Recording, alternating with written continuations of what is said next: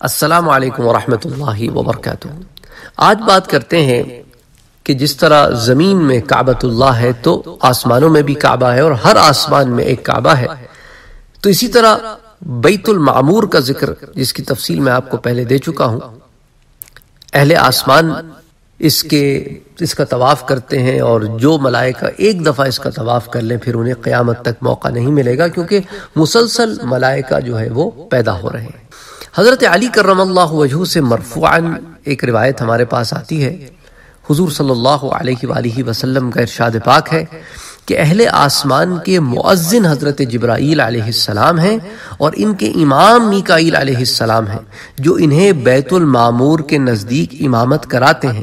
پس آسمانوں کے فرشتے جمع ہوتے ہیں اور بیت المعمور کا طواف کرتے ہیں۔ نماز پڑھتے ہیں اور استغفار کرتے ہیں اور اللہ تعالیٰ اس کا ثواب، استغفار اور تسبیح حضور صلی اللہ علیہ وآلہ وسلم کی امت کو عطا فرماتا ہے۔ اللہ اکبر اللہ اکبر۔ اب اس روایت سے ایک بات تو سامنے آئی، چونکہ فرشتے ثواب کی ضرورت مند نہیں، وہ تو صرف اللہ تعالیٰ کی خوشنودی کے لیے عبادت سر انجام دیتے ہیں۔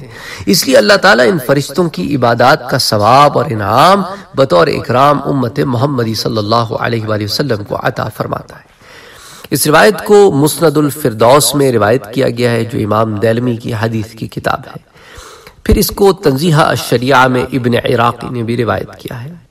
اگر آپ نے ابھی تک ہمارے چینل کو سبسکرائب نہیں کیا ہے تو سبسکرائب کا بٹن دبائیں، بیل کے آئیکن کو پریس کریں تاکہ آپ کو ریگولر نوٹیفیکیشن اپڈیٹس مل سکے اور آپ ہمیں ہمارے لائیو سیشنز میں بھی جوائن کر سکیں۔ ویڈیو پسند آنے کی صورت میں لائک شیئر اور کمنٹ کرنا نہ بھولیں۔